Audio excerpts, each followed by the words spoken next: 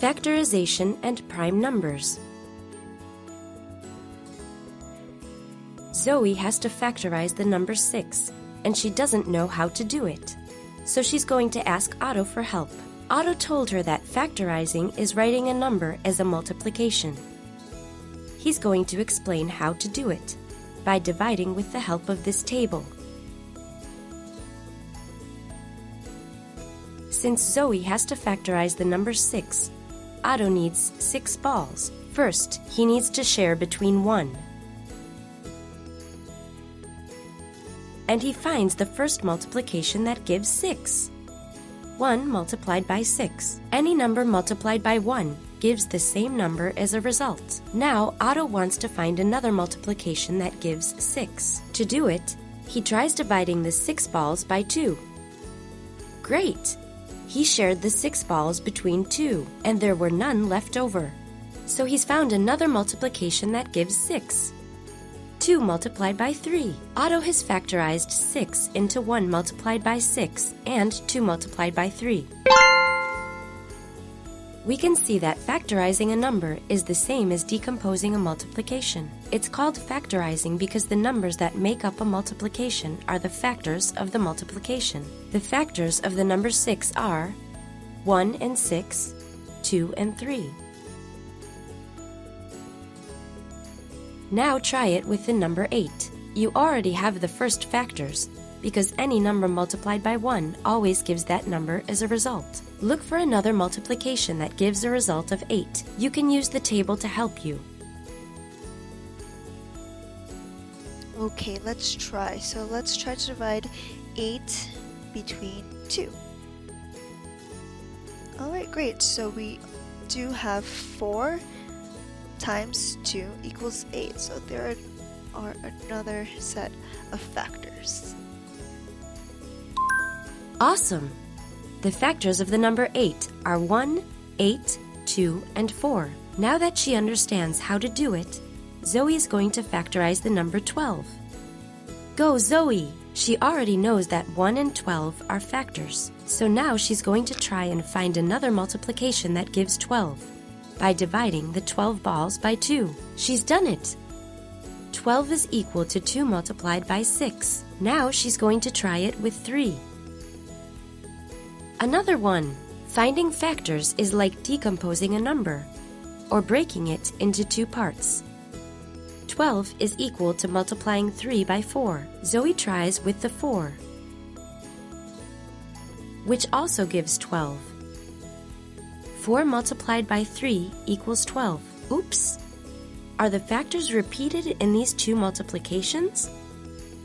Yeah, I would say so. 3 times 4 equals 12, and 4 times 3 equals 12. They're the same.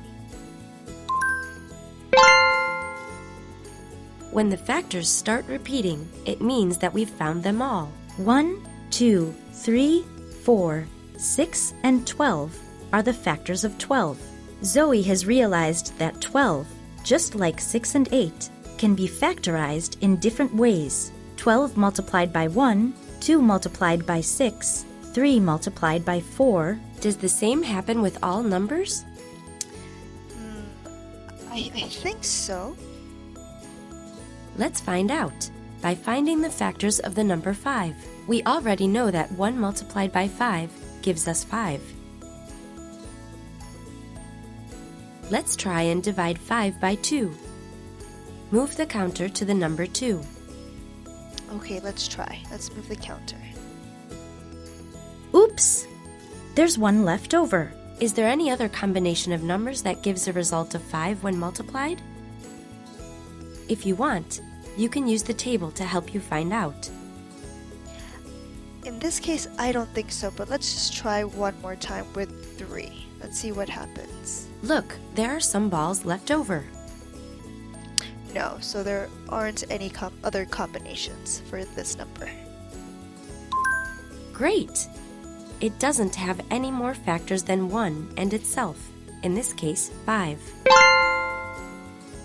The numbers that only have one factorization are called prime numbers. The first prime numbers are 2, 3, 5, 7, 11, 13, 17. And the numbers that have more than one factorization are called composite numbers, like 6, 8, and 12. To finish, let's decide whether these numbers are prime or composite. Place each number on the correct board. 7. So I think 7 only has one factorization, so the numbers 1 and 7. So it's a prime number. 8. We did this one before, so we know that this one has more than one factorization. It's 1 and 8, and 2 and 4, so it's a composite number. Number 21. So 1 factorization is 1 and 21. I also know that 7 and 3 uh, gives you 21, so that, it's at least more than one factorization, so it's a composite number. 45. That one's also composite. It has more than one factorization. 45 and 1, and 5 and 9. So let's move it to the composite side. And 41. I'm pretty sure that's a prime number. It only has one factorization. 1 and 41. Great! Now you know what a prime number is and how to factorize. Let's go over what we've learned.